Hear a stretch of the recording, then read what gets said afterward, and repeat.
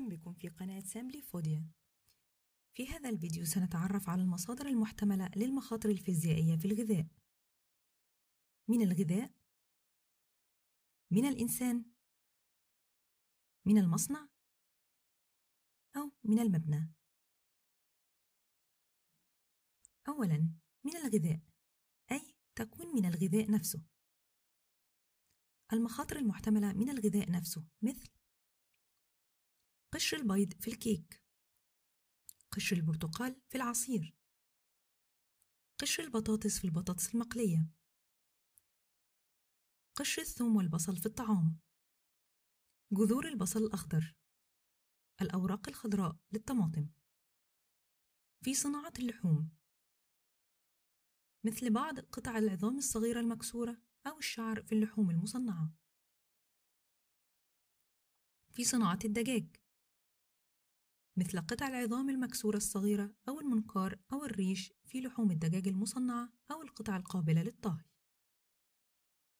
في صناعة الأسماك مثل عظام الأسماك والزعانف والقشر الخاص بالسمك في السمك المعلب والتونة.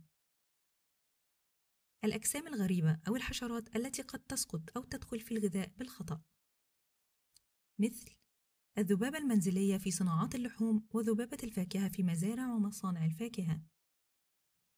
الفراشات وحشرة العتة النمل في الصناعات السكرية.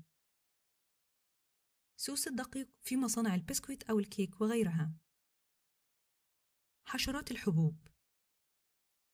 النحل في صناعة الحلويات. سوس البسكويت في صناعة البسكويت. الديدان الصغيرة والبق. فضلات القوارض والشعر الخاص بها وهي خطيرة للغاية لأنها سببت فيما مضى انتشار الطاعون كما أنها قد تكون حاملة لأمراض أخرى.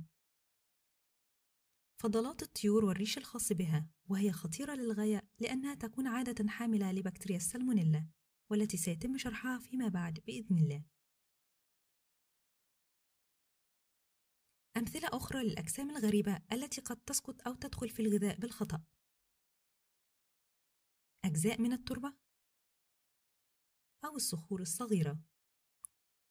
إذا أعجبك هذا الفيديو لا تنسى الاشتراك في قناة سامبلي فوديا والإعجاب بها.